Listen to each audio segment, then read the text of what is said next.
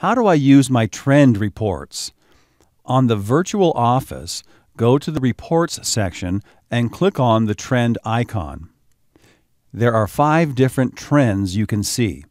Let's start with rank trend. The rank trend shows your achieved rank and paid rank for each bonus period. You can see if you are advancing in your rank each week. For example, in week 331, you can see that the achieved rank is Hawaiian Blue Diamond, or HBD, and the paid rank is Distributor. At the top of each bar is an abbreviation for the rank. Now let's look at leg volume trend. The leg volume trend report shows the placement tree legs for the left and right leg. On the legend on the right, you can see that Business Center 1 left leg will be the red trend line. Business Center 1 right leg will be the green trend line. Here on the left hand side, you see the total volume. You can see by looking at the red trend line that there is a volume of about 1 million. For Business Center 1 on the right, there is a volume of around 12,000.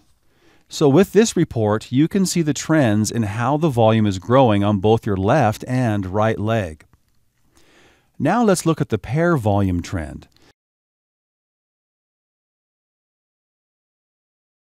This report shows for each bonus period the total pair volume in your organization.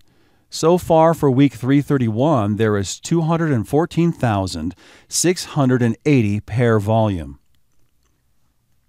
Next is the personal enrollment trend. The personal enrollment trend shows how many distributors you personally sponsored each week. The last week a distributor was personally enrolled was in week 329. In the graph below, you can see the percentage of those on auto ship and the percentage who placed an initial order. Finally, let's look at the pair enrollment trend. This graph shows trends for all enrollments in your personal enrollment tree for both distributors and preferred customers. On week 331, you can see there were two new distributors and one new preferred customer. Again, the bottom graph shows the percentage of those on AutoShip and the percentage of those who placed an initial order. Those are the trend reports to see how your business is growing.